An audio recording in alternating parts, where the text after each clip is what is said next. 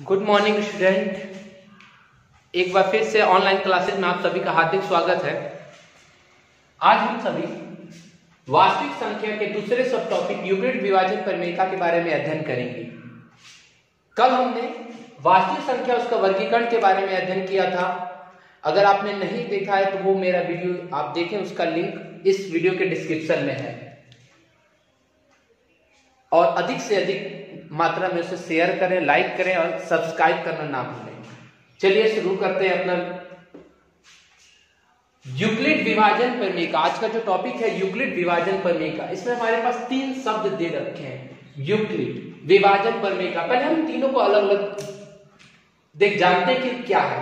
Euclid Euclid एक महान गणितज्ञ का नाम है, जिन्हें जैमिति का पिता कहा जाता है फादर ऑफ़ जेमेट्री विभाजन विभाजन को कहा जाता है डिवीज़न या भाग। और परमेका क्या होता है? तो परमेका एक पहले से सिद्ध किया हुआ कथन होता है, जिसके द्वारा हम किसी अन्य कथन को सिद्ध करते हैं। मतलब क्या? परमेका एक पहले से सिद्ध किया हुआ कथन होता है, जिसके द्वारा हम किसी भी अन्य कथन को सिद्ध करते हैं। तो चलिए हम अब शुरुआत करते हैं यूक्लिड विभाजन परमेका यूक्लिड ने विभाजन मतलब लंबी विभाजन प्रमेय जो प्रक्रिया होती थी, उस प्रक्रिया को को करने के लिए उन्होंने एक परमेयिका दी थी, जिसे यूक्लिड विभाजन परमेयिका का नाम दिया गया है। उस यूक्लिड विभाजन परमेयिका में उन्होंने बताया था कि किसी दो धनात्मक पूर्णांक ए और बी के लिए, कोई दो धनात्मक पूर्णांक होनी चाहिए। पूर्णांक के बारे में पिछले वीडियो में हमने पढ़ाई था। पूर्णांक, जिसमें q का मान कितना होता है? वन होता है। तो कोई भी दो धनात्मक पूर्णांक a और b के लिए, a बराबर b q plus r a बराबर बी क्यू प्लस आर जहाँ आर का जो मान है, वह ज़ीरो से बड़ा है, या उसके नीचे बराबर का चिन्ह है। यहाँ पे हम लोग देख रहे हैं कि आर के दे है r ज़ीरो से बड़ा या बराबर। और दूसरा जवाब दे रखा है आर जो है वो बी से छोटा है। मतलब यहाँ हमारे पास दो स्थितियाँ बन रही है। आर का मान ज़ीरो से बड़ा और बराबर या बराबर है, और दूसरी तरफ़ आर का मान बी से हमेशा क्या है?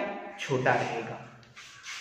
यहाँ ये चार जो हमारे पास शब्द है, चारों को किस नाम से जाना जाता है? पहला ए जो है, वह भाज्य है बी जो है, वो भाजक है क्यू है, वो भागफल है, और आर है, वह शेषफल है। आइए हम इसको एक एग्ज़ाम्पल के थ्रू समझने का प्रयास करते हैं।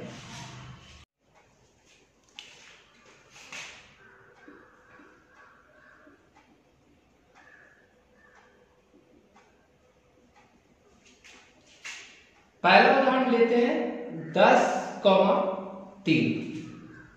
यहाँ पर हमारे पास क्वेश्चन है, दस कौमा तीन। चलिए इसको हम लोग सॉल्व करते हैं। यहाँ पे हम लोग मानते हैं ए बराबर दस और बी बराबर तीन। ए बराबर दस और बी बराबर तीन। चलिए सॉल्व करते हैं इसको। सॉल्व करने के लिए ए बराबर दस बराबर तीन। तीन को दस, तीन से दस में भाग देंगे। चलिए यहाँ भाग दीजिए, लिखते हैं।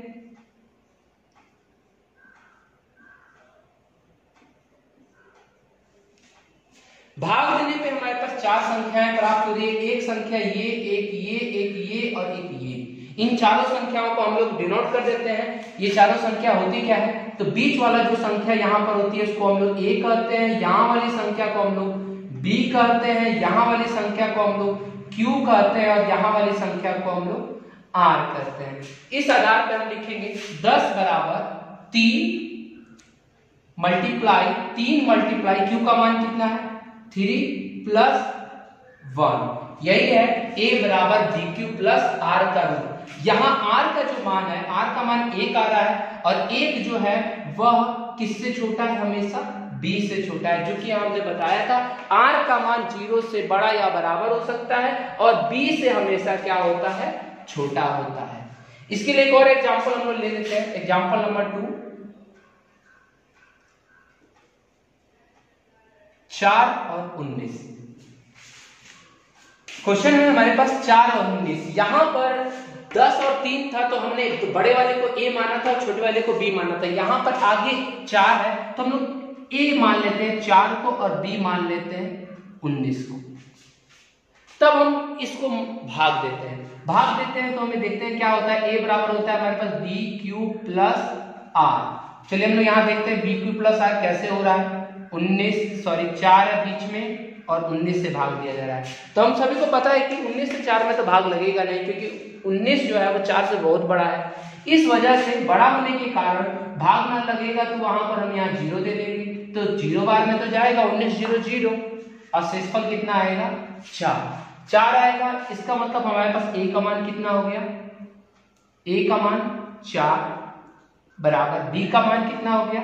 उन्नीस मल्टीप्लाई क्यू का मान कितना हो गया? ज़ीरो और प्लस आर का मान कितना हो गया? चार। यहाँ पर भी अगर हम बात करें तो जो आर का मान है आर का मान कितना आ रहा है? चार आ रहा है। वह बी के मान से हमेशा क्या है? छोटा है। तो इसी रूप को हम लोग यूक्लिड विभाजन परमेयिका का रूप कहते हैं। ये दोनों रूप यूक्लिड विभाजन परमेयिका का रूप कहलाता है। तो एक बार मैं फिर से बता दे रहा हूँ। यूक्लिड विभाजन प्रमेय का क्या है? तो किसी दो धनात्मक पूर्णांक ए और बी के लिए ए बराबर बी क्यू प्लस आर जहाँ ए जो है वो भाज्य है बी जो है भाजक है क्यू है, भागफल और आर क्या है?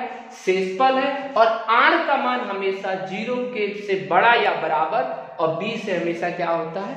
छोटा होता है। आप लोग के इसको सॉल्व करने के लिए मैं कुछ यहाँ पे उदाहरण लिख देता हूँ। आप लोग उसे सॉल्व कीजिएगा